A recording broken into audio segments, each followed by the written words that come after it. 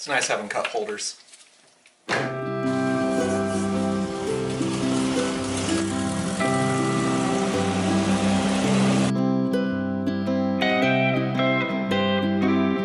You can see, it's designed to fit a variety of water bottles from big insulated bottles in this larger area to the smaller area for smaller water bottles. And this relief cut here is a nice handle slot. So if you have your coffee mug, you can put your coffee mug in there. And of course, your basic Stanleys will also fit. So here we have sort of the lineage tree of this cup holder development. This is the first attempt here. This was printed on my old Ender 3 with a 0.8 nozzle, which is why it looks so atrocious all the sizes. These were based off a Thingiverse uh, ashtray that I found, and as you can see, um, it didn't fit too great. This angle's totally off, which I iterated on later, and some markings here for some measurement adjustments that I made. So moving on to the next one, this one is focusing more on just the clip interface. So it has these two living hinges, or I guess four of them, a top and bottom.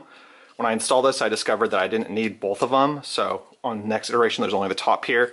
As you can see, some of my measurements are off. I also added some rounds to the sides here to help fit into that slot better because it's not perfectly right angle corners on it. This went into this first complete build on my Bambu printer. This is just white PLA I had that's really old. It actually came out pretty great. Um, I went down to just a single clip on both sides. We didn't need the bottom one anymore because it was kind of overly constrained. This was PLA, like I said, it was really old PLA, so it was kind of brittle and one of these snapped off, but it fit in great. And then that led me to move on to my, next, next one, which is the same exact design, but in this nice, um, I think, marble PETG. I'll put a link down below to Amazon for this same uh, plastic. And let's go install and see how it works. Now installing it, it's going in the ashtray slot here. Uh, mine, I'm to have to force in a little bit because there's some of this burlap sack on this that I haven't removed yet. But this will go in. These spring arms will push in and then pop out when they pass the sheet metal, locking in place. So first try. Let's see how it goes.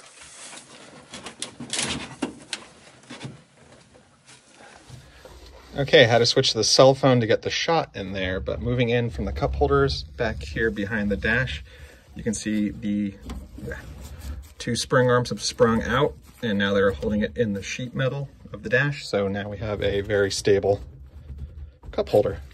All right, that's our VW Bus cup holder design. Uh, I'm not sure if I'm going to get this design up on Thingiverse for everybody, but I might make some more tweaks, but eventually I'll make a version public. Until then, here is a hyperlapse of the print on our Bambu printer. And a quick thanks to this video sponsor, AI Print Forge, for buying a ton of stuff through our Amazon affiliate link.